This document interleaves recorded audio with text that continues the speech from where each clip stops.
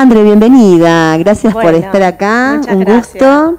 Muchas gracias por la invitación. Un placer. Y qué bien que se están manejando desde Cruz Azul, ¿eh? en los consultorios donde vos estás un poco en la coordinación de todo. Sí. Eh, yo digo, qué interesante staff de profesionales. La verdad que sí, se sumó muchos profesionales nuevos.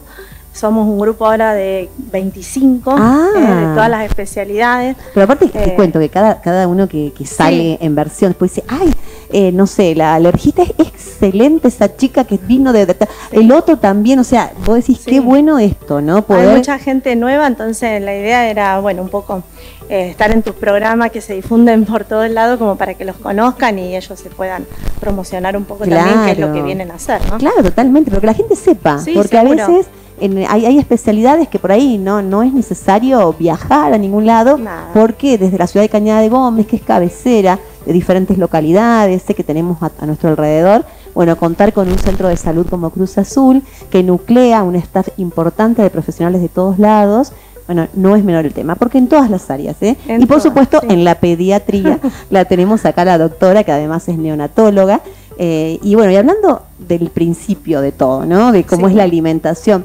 Viste que en cada una de las notas que hacemos con, diferentes profesionales y especialistas, caemos en el tema de cuán importante es lo que comemos, cómo lo comemos, para desarrollar después, claro, desde todo lo que es el intestino, que es nuestro segundo cerebro, bueno, y ni hablar de los bebés y de, la lactancia, ¿no? Tal cual. Deben saber que del primero al 7 de agosto se festejó la Semana Mundial de la Lactancia Materna eh, y todos los años se genera un lema para la lactancia eh, y este año fue amamantar y trabajar.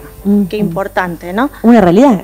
Una realidad muy, muy real de todas las mujeres de hoy en día. Todas, la mayoría se diría, trabaja ¿eh? o en un lugar fuera de su casa, o en su propio domicilio, o en su negocio, en su emprendimiento, y necesita seguir amamantando. Es otra realidad, aunque yo me, me retrotraigo ¿no? A, mi niñez, yo bebé, y mi mamá daba clases. Y me acuerdo que llegaba con las mamas hinchadas y con un montón de leche, porque pasaban unas cuantas horas sin amamantarme, este, y ya en esa época trabajaba, ya era una mujer independiente y empoderada, Nelly Flora. Un beso grande a mi mamá. Eh, en protección a eso, como todo avanza, eh, hasta el Código Civil apoya la lactancia materna con un código que es el 236, que para que todas las mamás que trabajan lo sepan. Que tienen ese eh, derecho. Que tienen ese derecho, que implica el lugar donde ellas puedan tener un lugar donde amamantar o una hora libre durante el trabajo donde puedan irse al lugar donde está el niño y poder dar la leche tranquila o en su casa o en el lugar de trabajo. Viste que hay, hay mujeres, hay mamás que por ahí, bueno, prefieren por cuestiones personales o laborales o lo que fuera decir, no, no mamanto y le doy mamadera. Saber qué implica eh, que la leche materna, ¿no? ¿Qué aporta a este bebé la leche materna? Tal cual. Yo siempre digo, eh, no sé, es mejor o peor mamá la que alimenta de una forma u otra, pero está bueno que nosotros, eh, arrancando desde los obstetras, que es el primer colega que, recibe eh, a esa mamá embarazada, esa contención familiar que generalmente va acompañada de la familia, la embarazada, que sepan que lo bueno que es dar la leche materna. Eh, que, sea un acompañamiento en general, no solamente una responsabilidad de la mamá. Dicen que es la primera vacuna, digamos, que es como que lo, que lo inmuniza. Que la leche esa materna, hay, ninguna leche es reemplazable, ¿eh? tiene un montón de inmunoglobulinas, de proteínas, carbohidratos, lípidos, que ninguna leche se la va a dar. Y es la más tolerable, si bien uno en el consultorio escucha, no, pero eh, tal le da tal leche y la tolera y duerme no, no es, realmente no es así. La leche materna es la mejor tolerada. Siempre fue así. Pero además, ¿sabés que André? Las que hemos, bueno, amantado, yo a mis tres hijos, ese vínculo sí. Eh, del momento de que vos momento. es único. Yo creo que también crea una relación con, con, tu hijo. Con el bebé y con el desarrollo neuromotor. Claro. Hoy las estimuladoras tempranas... Eh, que es otra especialidad que también tenemos en Cruz Azul ahora, lo primero que preguntan es, ¿amamantaste al bebé? Pero justamente por el vínculo que crea entre la mamá, el bebé y es lo más hermoso, mi recuerdo es, aparte, cuando mejor me quedaba mucho tiempo, ¿viste? cuando es el primero, una hora en cada teta, porque no, no, porque todavía se quedó con ganas, después el segundo un poco menos y el tercero menos, mi amor. Después se aprende. Pero, a los tres hasta el año los he amamantado solo con, con leche materna eh, y bueno, después cuando uno lo va incorporando en la alimentación, ¿no? Hoy dicen que es importante hasta los dos años. Hasta los dos años, o sea, lactancia materna exclusiva hasta los seis meses y a partir de los seis hasta los dos años con complemento de, alimentos, ¿no? Por supuesto. Hay mujeres que dicen no tengo leche, por eso no, les, no los puedo amamantar. Eh, se estimula. Eh, realmente uno cuando ve a la, a la, parturienta, digamos, hay diferentes momentos. La mamá que tiene el parto es mucho más rápido la bajada de leche.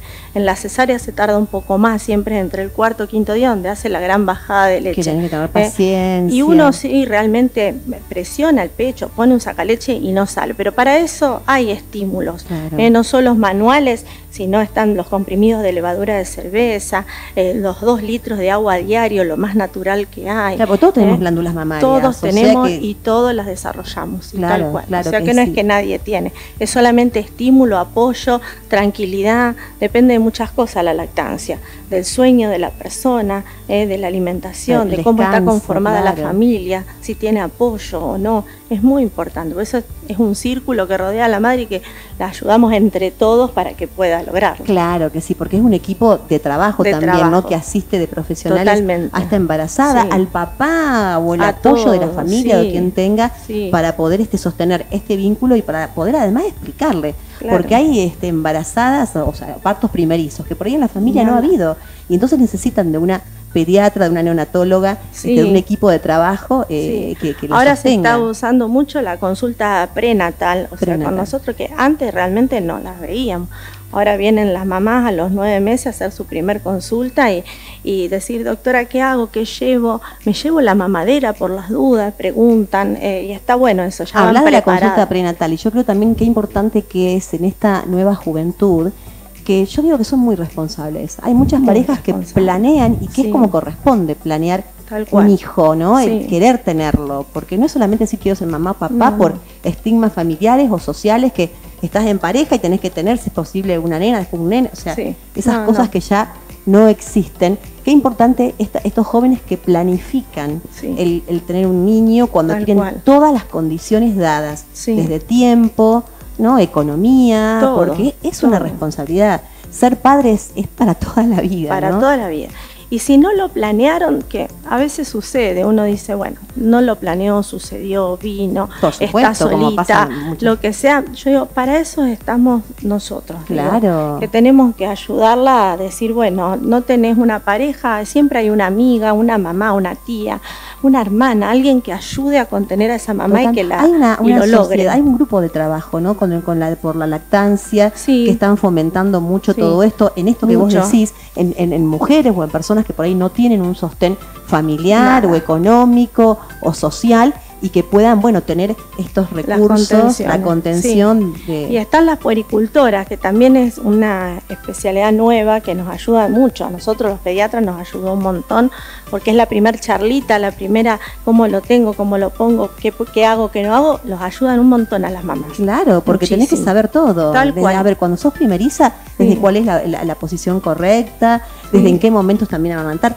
cuál, cuál es el tiempo necesario para la, la, este, amamantamiento. Un, montón de tips, les digo yo, que de a poquito uno les va diciendo y a veces cuando vienen angustiados uno les, ve la cara, entran al consultorio y, ya te das cuenta que hay algo que estuvo malo, no, o no durmieron, o lloró toda la noche, o este chico no va, no va, no siempre calmar, preguntar qué te pasó, estás durmiendo bien, comes bien, te alimentás, eh, hay alguien que te ayude, que, porque hay veces que solamente cambiando algunas cositas lo logran hacer. André, eh, en esto de fomentar, y por supuesto que decimos que la lactancia materna es lo más hermoso que existe y lo tan necesario para este niño que son sus primeras vacunas, este, bueno, fomentar a eso, ¿no? Explicar también que previene enfermedades en, un niño o favorece el sistema inmunológico que no Previene el sistema inmunológico, por ende hay menos neumonías, menos diarreas, menos enfermedades infecciosas eh, y menos respiratorias, que es lo más importante ahora que, que hay mucho en este bueno, hoy estamos en un día especial medio caluroso, pero en el invierno las enfermedades respiratorias se previenen un montón con la lactancia materna. Totalmente. y además que estamos ante el advenimiento de virus resistentes. Tal cual. Entonces el que uno pueda favorecer todo lo natural eh, no es menor, mamá. Dar la teta es lo más lindo que hay. ¿eh? Tal bueno, André, como siempre es un placer tenerte. Gracias Felicitaciones. Bueno, muchas gracias. ¿eh? por Cruz Azul y bueno, toda la zona sabe que cuenta con estos consultorios interdisciplinarios, con un equipo excelente de profesionales a disposición ¿eh? de cada uno de los Bueno, muchas gracias por la invitación. Gracias. Ana, como siempre. Seguimos con más versión. Cruz Azul.